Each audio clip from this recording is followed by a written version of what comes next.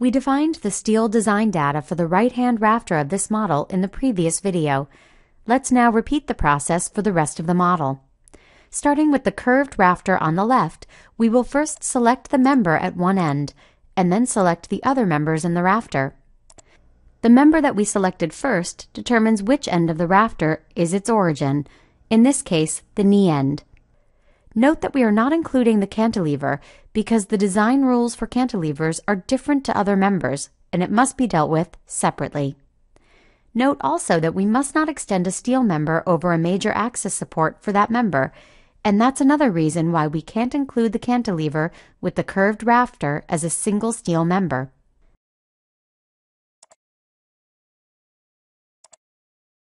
You can see that this steel member is made from multiple analysis members, and we are numbering the steel member to match the first analysis member in the list.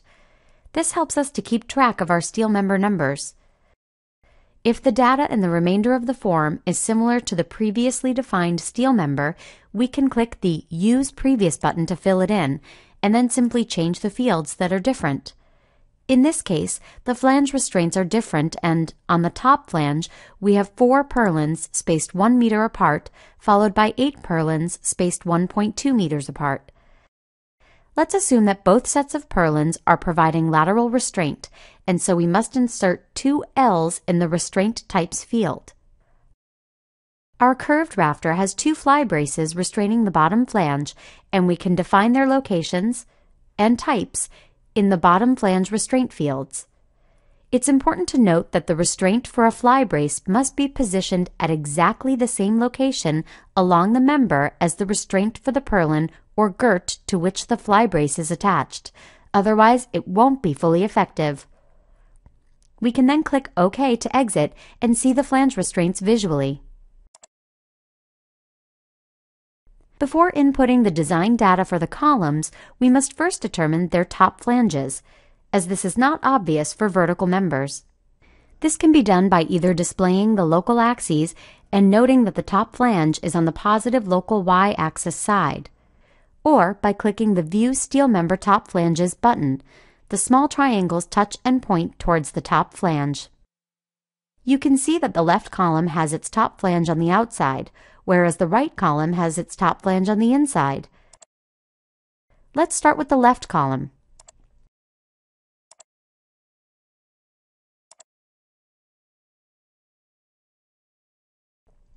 After clicking the Use Previous button, we need to change the load height position to center, as top flange loading does not apply to columns. We can then input the flange restraints for three girts on the outside or top flange which we assume provide lateral restraint to that flange. There are no restraints on the inside or bottom flange.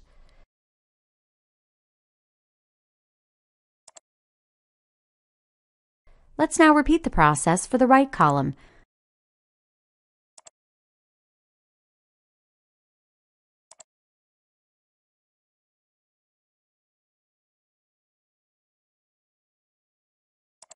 Remembering that the outside flange with four girts is, in this case, the bottom flange.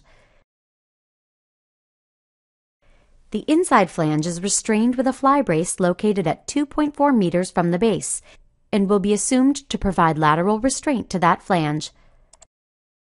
Finally, we select the cantilever, starting with the member closest to the column.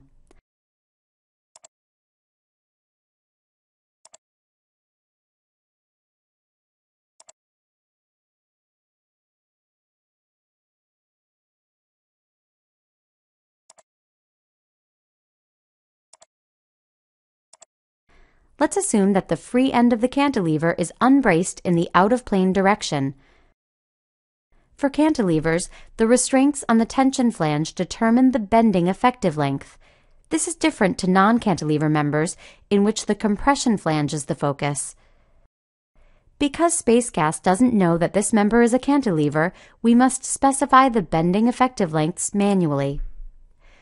Finally, because the cantilever is assumed to be unbraced laterally at the free end, we will use a lateral restraint code of U for both flanges at that end.